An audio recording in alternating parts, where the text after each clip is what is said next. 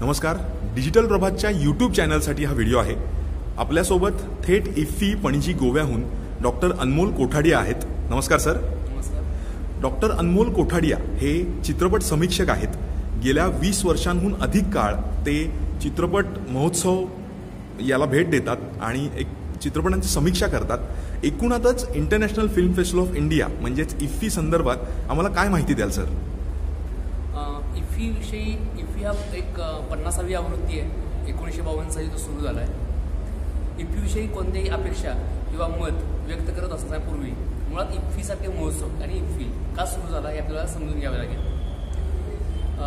भारतात स्वातंत्र्यपूर्व काळामध्ये सुद्धा चित्रपट एक कला व्यवहाराचं माध्यम म्हणून विकसित होत होतंच. मात्र माध्यम म्हणून त्याचा एक वेगळ्या पद्धतीने विकास करावा आणि आधुनिक भारताच्या निर्मितीमध्ये चित्रपट हे माध्यम वापरावं आणि त्या दृष्टीने चित्रपट संस्कृती निर्माण करावी. या कारणांसाठी विशेषतः नेहरू धोरणांमुळं चित्रपट इफ्फीसारखा महोत्सव म्हणजे काही शिफारसी आल्या फिल्म इन्क्वायरी कमिटीसारख्या शिफारशी आल्या आणि त्यातून इफ्फीसारख्या महोत्सवाची रुजवात झाली. हा महोत्सव सुरू झाल्यानंतर पहिल्याच महोत्सवानं त्यातल्या दाखवल्या गेलेल्या बायसिकल थीपसारख्या चित्रपटानं भारतीय चित्रपटांवर गहरा प्रभाव टाकला जो आजतागायत मला दिसून येतो. एकूणातच तुम्ही खूप छान माहिती दिलीत सर.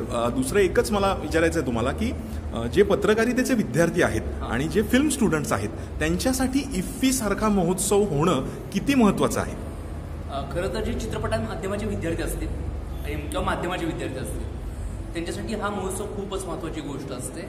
एक इव्हेंटचा भाग म्हणून बघणं शिवाय फिल्म्स बघणं शिवाय फिल्मच्या दरम्यान इथं इफ्फीसारख्या महोत्सवात त्याचे दिग्दर्शक तंत्रज्ञ कलाकार उपस्थित असणं आणि त्यांच्याशी इंटरॅक्शन होण्याची संधी मिळणं. त्याच वेळेला भारतभरातून आणि जगभरातून आलेले चित्रपट रसिक असणं आणि त्यांच्याशी इंटरॅक्शन करण्याची संधी मिळणं. हा खरं तर खूप मोठं रिच म्हणजे ॲक्सिस मिळतो.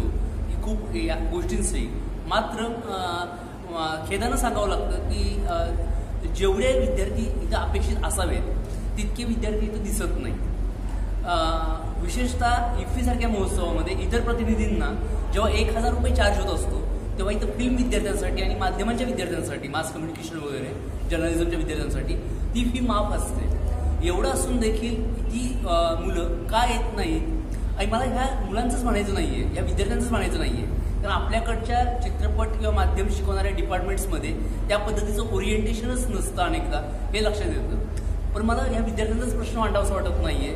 तर मला असं वाटतं की मी गोव्यामध्ये जेव्हा महोत्सव होतो त्यावेळेला केरळ बंगाल तमिळ तिथले खूप दिग्दर्शक दिग्गज दिग्दर्शक सुद्धा म्हणजे उदाहरणार्थ आदुर गोपालकृष्णनसारखा दिग्गज दिग्दर्शक सुद्धा लाईनमध्ये उभा राहून फिल्म पाहताना दिसतो.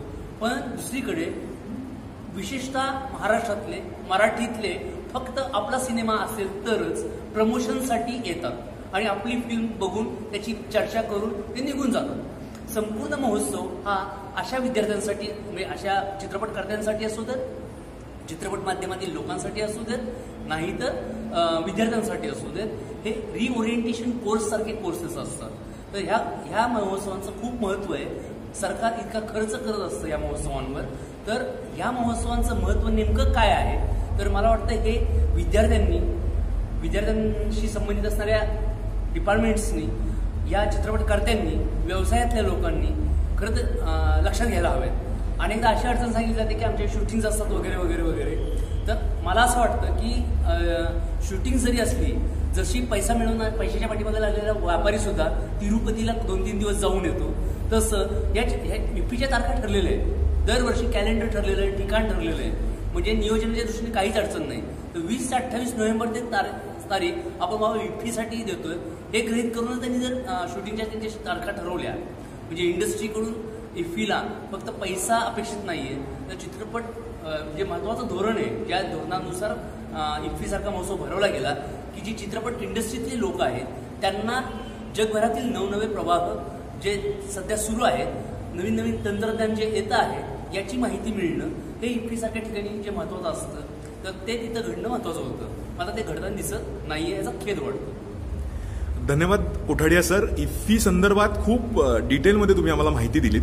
मनपूर्वक धन्यवाद.